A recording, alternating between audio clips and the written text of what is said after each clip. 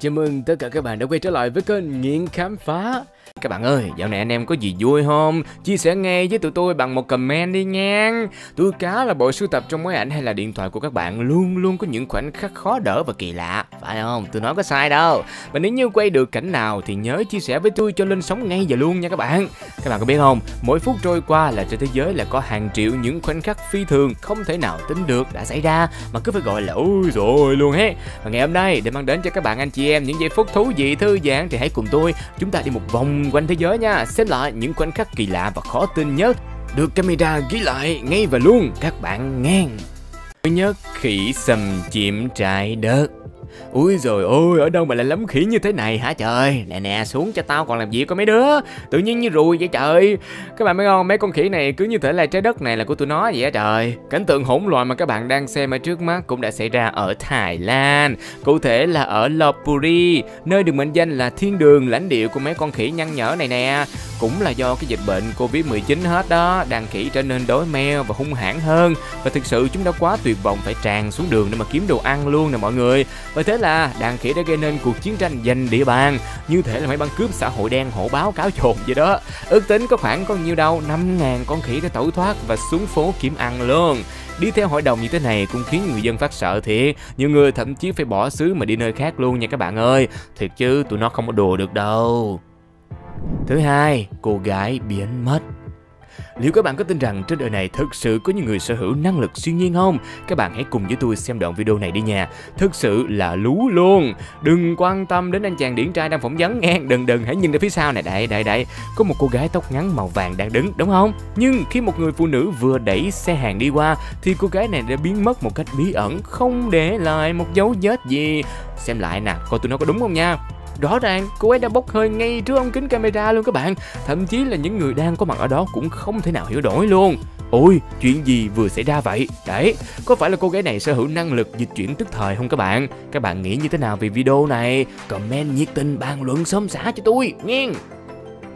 Thứ ba, bộ lạc Amazon tách biệt với thế giới Thực sự rất là may là chúng ta được sống trong một thế giới hiện đại. Thế kỷ 21 công nghệ tiên tiến và phát triển dữ lắm rồi. Thế nên các bạn mới xem được video này nghe. Tuy nhiên, tách biệt với thế giới của chúng ta các bạn à, trong rừng rậm Amazon có hàng trăm bộ lạc bí ẩn đã được phát hiện. Video mà các bạn đang xem chính là bộ lạc hung hãn nhất. Họ sẽ tấn công, thậm chí là giết chết những người lạ nào dám bén mảng tới luôn. Làm gì mà nóng dữ vậy? Chúng ta có thể thấy là họ chỉ dùng những vũ khí thô sơ nhất như là vỏ dừa nè, cung tên nè để bắn anh quay phim kìa. Thế nhưng công nhận là anh quay phim vẫn luôn bất tử hang Nên mới có những thước phim như thế này cho chúng ta xem chứ Tất nhiên hầu như những bộ lạc này đều từ chối tiếp xúc với thế giới của chúng ta các bạn à Thứ tư, trò trắng uống nước thề chứ cứ mỗi lần nhìn thấy rắn là chúng ta thường trông mong mà chạy nha. Mà gặp phải rắn hổ mang thì ta nói không còn cái gì nó ghê sợ bằng nha mọi người. Đó là với tôi đâu biết mọi người nghĩ sao. Thế nhưng mà những người dân Ấn Độ là có cách đối xử rất tuyệt vời với những con rắn đang chết khác nè.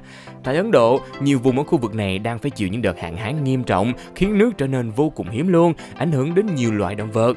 Vì quá khát mà một con rắn hổ mang dài lớn tới tận hả ba m sáu mò vào làng để tìm nước. Thật may cho nó là một người đàn ông đã cầm chai nước nữa cho con rắn nó tu ừng ực để giải khát luôn. Sau đó nó đã được chuyển đến một trung tâm chăm sóc động vật hoang dã. Thứ năm, cá nược bi thảm bị nhốt. Thực sự nếu như con người chúng ta vẫn không có ý thức thì các loài động vật trên trái đất rất có thể sẽ bị biến mất các bạn à. Mới đây nè, tại Trung Quốc đã xôn xao một đoạn video quay lại hình ảnh hai con cá nược bị bắt giam dưới lòng biển để làm cảnh cho du khách chụp hình, tạo nên một làn sóng dư luận phẫn nộ không hề nhỏ luôn. Hai mẹ con cá nược đáng thương này được một nhóm thợ lặn phát hiện. Họ đã vội vàng lên bờ tìm hiểu và biết được sự thật tàn khốc này. Chúng bị tách rời nhau, mỗi con một cái lồng sắt. Cư dân còn lấy cái dây thừng lớn buộc chặt vào đuôi con cá trong thời gian rất dài. Dần dần hình thành những vết thương sâu rồi không ngừng chảy máu luôn. Sau đó, trung tâm bảo vệ động vật đã đứng ra xử lý vụ việc. Cuối cùng thì hai mẹ con cá nược đã hoàn toàn tự do rồi, bơi lội cả tung cả tăng trên biển luôn. Các bạn nghĩ xem nếu như cứ đối xử tàn nhẫn với động vật như thế này, rồi đến lúc trái đất chúng ta không còn tồn tại con động vật nào nữa thì sẽ trở nên như thế nào đây?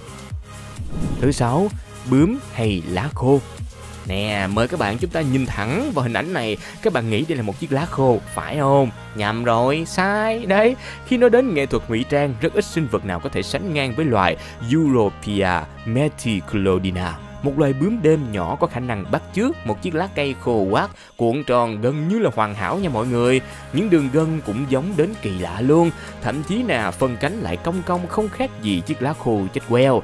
Nếu chúng cứ nằm như thế này thì chẳng ai phân biệt được đâu các bạn ha, ghê thiệt.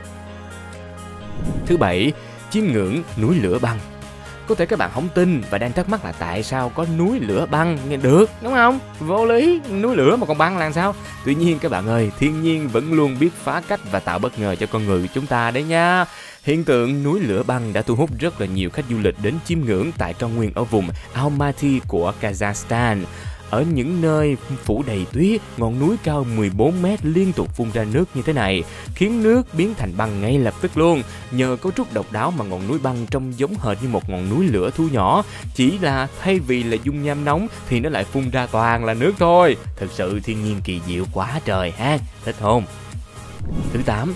Máy bay lớn nhất thế giới các bạn ơi, có bao giờ các bạn được đi máy bay chưa? Nhưng dù có đi rồi thì bạn cũng chưa bao giờ nhìn thấy một chiếc máy bay nào lại to khủng khiếp như thế này đâu. Vào sáng ngày 13 tháng 4 năm 2019, tại sa mạc phía bắc Los Angeles ở Mỹ, con chim sắt khổng lồ có tên gọi là Stratolaunch đã thành công tung cánh bay trên bầu trời. Được biết nha, chiếc máy bay khủng này có sải cánh rộng 117 m, rộng hơn bất cứ máy bay nào trên thế giới. Chiều dài thì bằng cả một cái sân bóng với 72,5 m, cân nặng thì gần 227 tấn luôn. Đặc biệt là siêu máy bay còn được thiết kế hai buồng lái, mỗi buồng lại ở một bên thân máy bay. Nhưng mà chỉ có một buồng lái được sử dụng để điều khiển mà thôi. Và nếu như không có gì thay đổi nha, chim sắt khổng lồ này sẽ đưa các vệ tinh nhỏ vào không gian một cách nhanh chóng với chi phí rẻ hơn đấy. Thứ chín, sự kiện thể thao trượt tuyết bikini. Thực sự chứ trực tuyết có phải là không còn quá xa lạ với chúng ta rồi Nhưng mà các bạn đã từng bao giờ được chiêm ngưỡng cảnh một rừng mỹ nhân diện bikini trượt tuyết chưa? đại lễ hội Google Google ở Nga đã tổ chức sự kiện thể thao trượt tuyết đặc biệt nha. Hàng trăm du khách đam mê bộ môn này đã hào hứng tham gia khi mà chỉ mặc những bộ đồ bikini mỏng manh bất chấp thời tiết ngoài trời đang là 9 độ C, rét lung rung luôn nha các bạn. Trời, nghe, nghe rối quá, đọc bậy bạ. Nhìn mà thực sự chứ tôi lạnh dùm mấy cô luôn á, cơ mà lát cả mắt tôi rồi. Thứ 10, mô tô lướt trên mặt nước. Xe mô tô lướt trên mặt nước hả? Khó tin nhưng thực sự là có thật nha các bạn. Nhờ một thiết kế đặc biệt cộng thêm vận tốc cực lớn, anh chàng này đã thành công chinh phục được thử thách lái xe mô tô lướt trên mặt nước cực kỳ khô ngầu như thế này. Xem có đá mắt luôn nè. 11. Cuộc xâm lăng của những con chim Tưởng tượng đi các bạn, sẽ như thế nào nếu như một ngày đẹp trời thì bất ngờ bạn thấy bầu trời bị tối sầm lại, hàng trăm những con chim đang tấn công ở ngay trước mặt mình ha. Cuộc xâm lăng của loài chim y như phim kinh dị này đã diễn ra ở Torrance, kéo dài đến vài ngày trong một ngôi nhà. Gia đình này đã cho biết thậm chí lũ chim còn từ đường ống khói rồi đột nhập vào trong căn nhà luôn. Ước tính nha, xương xương là có đến 800 con chim tụ tập quanh ống khói, 800 con nha các bạn. Có con Han đứng để dựa vào cửa sổ vỗ cánh mạnh nơi chứ trời. Trong trường hợp này thì thôi chứ nhường nhà cho lũ chim chứ còn biết làm gì nữa. Bây giờ 800 con hết bà cái nhà. Và gia đình này đã phải ở khách sạn đến 2 ngày. Sau khi dịch vụ động vật đã đuổi thành công lũ chim bằng một cách nào đó thì ai biết. Thời thế thay đổi thiệt, đến chim cũng biết dành nơi ở với con người nữa thì quá là chán, hết đường nói. 12. Bắn giọt nước. Thực sự tôi bái phục bởi khả năng nhắm bắn đỉnh cao của anh chàng này ghê bà con. Làm thế nào mà anh có thể bắn trúng được một giọt nước chảy ra từ trong một chiếc chai như thế này được trời? Đẳng cấp thực sự. 13. Sinh vật lạ. Mới đây nè, một đoạn video đã gây chấn động, sang chấn tâm lý trên mạng xã hội liền. Camera giám sát đã quay lại được cảnh một sinh vật kỳ lạ, hình dạng thì giống người, nhưng mà trần trụi, trắng bệch, đang bò bằng bốn chân đi xung quanh nhà dân, gây sự sợ hãi cực mạnh luôn mọi người ơi. Sau khi đoạn video đăng tải lên thì nhiều người nghi ngờ rằng đây có thể là một người ngoài hành tinh hoặc là một vài sinh vật bí ẩn nào đó. Còn các bạn, các bạn nghĩ sao? 14. Sao băng sáng như quả cầu lửa luôn các bạn ơi, các bạn đã từng được chiêm ngưỡng một trận mưa sao băng tuyệt đẹp như thế này bao giờ chưa? Tại thành phố Bristol, phía tây nam nước Anh, người dân không thể tin vào mắt mình khi đã quay lại được một ngôi sao băng khổng lồ vụt sáng trên bầu trời đêm. Nó như là một quả cầu lửa trong chớp mắt xé tan cả bầu trời luôn. Phải thực sự là những người may mắn lắm thì chúng ta mới quay được những ngôi sao băng tuyệt vời như thế này các bạn ha. 15. Những ngọn nến băng Thực sự lại một lần nữa tôi phải khẳng định rằng là thiên nhiên quả không bao giờ làm chúng ta thất vọng với sự kỳ diệu có một không hai. Khác với những tảng băng đóng thành cục mà chúng ta thường thấy, tảng băng này lại được tạo thành từ những viên thỏi nhỏ, hình trụ tỏa ra như những ngọn nến luôn. Quả vi diệu các bạn ha. Thực sự cho nên là 15 khoảnh khắc kỳ lạ và khó tin nhất đã được camera ghi lại mà tôi vừa gửi đến bà con đấy. Thế mới thấy là trên thế giới của chúng ta có vô vàng những điều thú vị lạ đời mà không phải ai cũng biết đúng không? Vậy thêm nhiều những comment um, bàn luận của các bạn đó nha. Và đừng quên like, share, subscribe để không bỏ lỡ những video nóng hổi và những thông tin thú vị như thế này các bạn nha. Chúng ta sẽ còn gặp lại nhau ở các video tiếp theo. Nhớ nhấn nút chuông bật thông báo để không bỏ lỡ nha. Cảm ơn các bạn đã đồng hành cùng với tôi trong video ngày hôm nay. Xin chào và hẹn gặp lại. Bye bye. Những bạn nào thích trải nghiệm, muốn khám phá thêm thật là nhiều điều thú vị và kỳ lạ từ Đông Tây Kim Cổ tới khắp các quốc gia trên thế giới thì hãy nhanh tay đăng ký, theo dõi kênh Nghiện Khám Phá của chúng mình ngay và luôn nhé. Có rất là nhiều điều mới mẻ đang chờ đợi các bạn đấy. Vô luôn nào!